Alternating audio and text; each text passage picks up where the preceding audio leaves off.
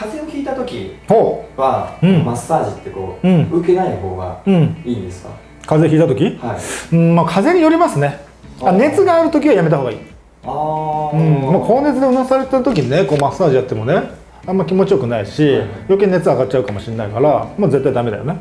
でまあちょっと鼻風邪でちょっと、うん、ちょっと寒気がっていう時は逆にやってもらった方がいいかなっていう感じですよね。まあセラピストさんにあの移しちゃうかもしれないけどまあそんな感じ、うん、だからたまに体調悪くてマッサージ受けたいなってんなら受けた方がいい。熱があって筋肉に熱がある時ってあんまやんない方がいい。あー。まあそんな感じですかね。38度以上ある時はやめた方がいいかな。って感じよろしいでしょうか。はい、ありがとうございますぜひですねあの動画を見た感想を、えー書いていただけると大変あの嬉しく思います。どんなことでも結構です,、ね、結構ですのでぜひね、えーよろしくお願いします。全部私が見てねあの気に入ったやつだけあの返事しますんでぜひよろしくお願いします。